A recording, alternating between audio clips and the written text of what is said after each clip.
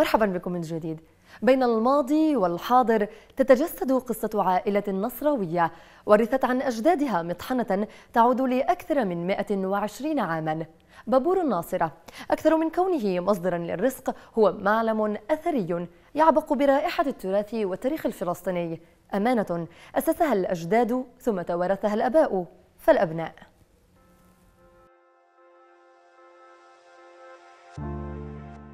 كل شيء ممكن يتعوض إلا تاريخك وماضيك. أي شيء مرق الماضي وال... وال... والناس اللي تعبت هون إذا ما اهتمينا فيه وما درنا بالنا عليه برجعش. أنا توني لي قنازع من الناصري من مدينة الناصري وصاحب مطحنة الجليل الببور. 120 سنة تقريبا صار له الببور بالعيلة. مصلحة الببور مطحنة الجليل وصلت عن طريق حياة سيدي وبعدين أبوي واليوم أنا وأخوي بنشتغل فيها.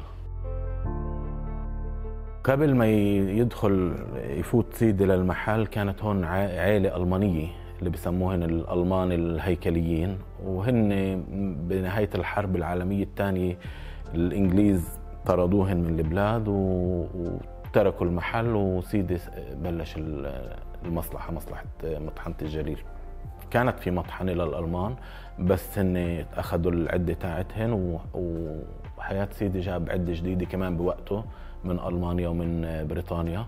وهي العدة موجودة من وقتها بنفس المحل هون عمرها 120 سنة. البابور ميزها بوجودها بالناصري وحواليها الكثير من القرى حوالي 70 قرية. كلهم بيجوا كانوا لهون واعتادوا انه يجوا لهون. والناس بالمنطقة عندهم ثقة بالبابور وبيجوا على البابور لأنه آه، دائما خدم البابور الناس والقرى القرويين واهالي القرى بأمانة وبطريقه مضبوطة. كل شيء بخطر على بالك ممكن ينطحن بالمطحنة ويستعملوه نستعمله بالمطبخ أو بحياتنا اليومية أو كمان للدواب والحيوانات كأعلاف و فالمطحنة إشي ضروري كل الوقت بحاجة له وكل ما تطورنا إحنا بحاجة أكثر للمواد المطحونة.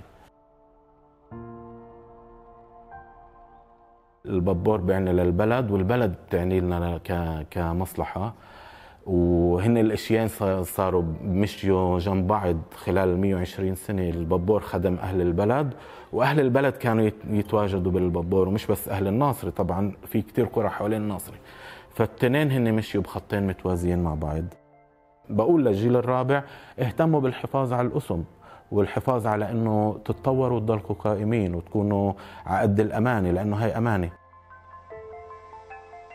الاسم استمرارية سيدي وأبوي هدول ناس اشتغلوا اشتغلوا صعب وحفروا بالصخر مشان يعملوا هيك شيء مش سهل كان تعمل هيك شيء فهن ناس تعبوا وشقيوا وكان عندهن حلم. فمهم إنه اخلي هذا الحلم ماشي مش المهم أنا مش المهم أنا.